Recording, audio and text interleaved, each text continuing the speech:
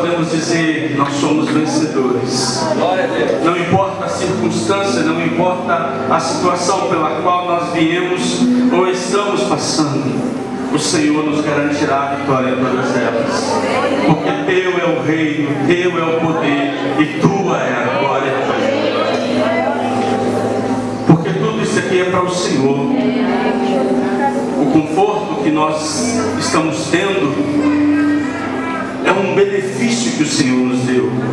E nós revertemos tudo aquilo que nós conseguimos para o Senhor. A Ti seja a honra e a glória de tudo isso. Louvado seja o Teu nome. Ó Pai, a Tua palavra vai ser pregada. A Tua palavra vai ser anunciada. Usa do Teu Filho, seja com Ele.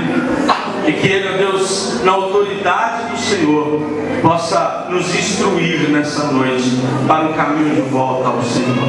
Nos abençoe usando o Teu Filho, Pastor Oswaldo, em o nome de Jesus. E a você, de todo o meu coração, muito obrigado.